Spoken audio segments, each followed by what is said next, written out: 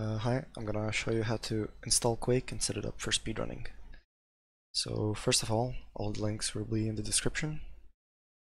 Go to the speed Quake Speed Demos archive, the downloads page.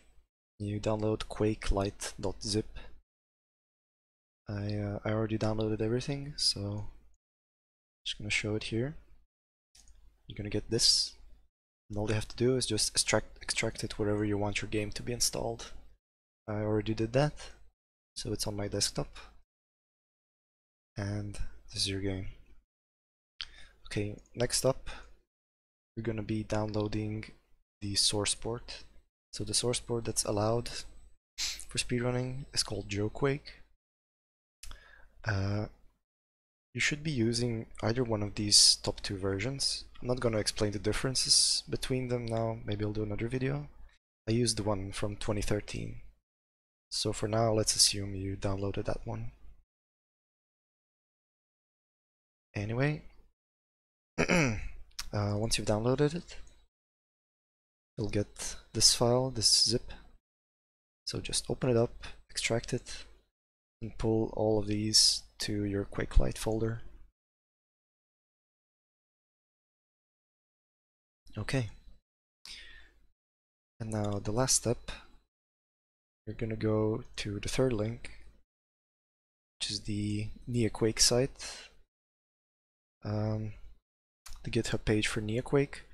This is like a, a JoeQuake derivative, basically that fixes some minor problems people have with JoeQuake. Um, you can read the things that it adds here. Some of these are particularly important for me, like the splash, removing the splash screens, which can actually take very long for some reason. Anyway, to download it, you click on the Releases tab over here, and you download NeaQuake, this file, .7 zip.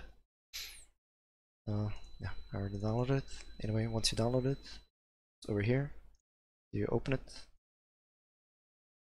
and all you do is just once again paste the neaquake gl.exe into your game folder. Okay, now that we've done that, just one more thing you need to do. Uh, you have to go back to the back to the speed demos archive downloads page. You want to download qdqstats18.zip. It's over here. This is basically a mod that you that you use to get the accurate demo timings and also has some other neat features. Anyway, this is the file you're going to download, qdqstats18.zip. And uh, just to make sure you do this correctly, all, all mods need to have their own folder. So you'll create a folder called qdqstats18 in your main game folder and then just pull all the things from qdqstats18.zip into this, this folder. And that should be it. Okay, the next thing, you will run the game with a shortcut. So create a shortcut of neaquakegl.exe because you need some startup parameters on the startup parameters you can use, you can find them on the on the Neaquake uh, GitHub page.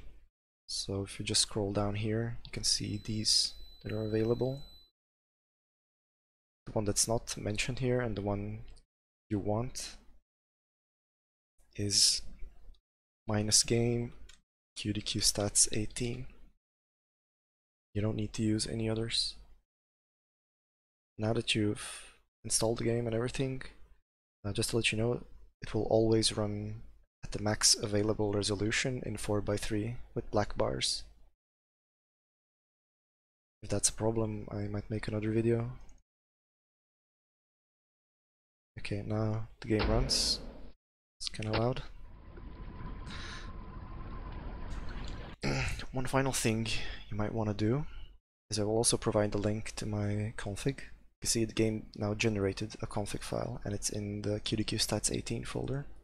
You could edit this here or you could just add your own uh, config and name it autoexec.cog. That way the game will always exec, like run this config as soon as the game starts. So this is my config and I will provide a link to it. And uh, I try to add uh, these various uh, descriptions of stuff, like the comments. Comments are after a backslash backslash, so you can know what does what. You can just kind of uh, read through this. It shouldn't take too long, and it should be fairly clear what does what. Okay, now that we place that in, on the game. Now the game is set up with my my settings. And that's it.